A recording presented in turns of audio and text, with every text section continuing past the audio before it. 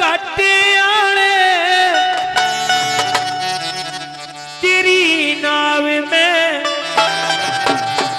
मैं बैठना चाहूँ सू बालाजी मन पार तार दे